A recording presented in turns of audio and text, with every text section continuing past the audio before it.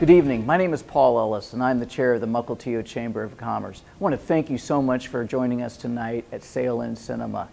Before we begin, I want to thank our main sponsors because without them, this evening wouldn't be possible.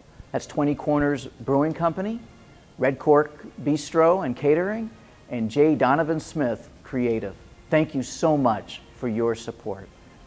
Before you enjoy this evening's movie, I also want to remind you check out the website at mukilteochamber.org. That's mukilteochamber.org.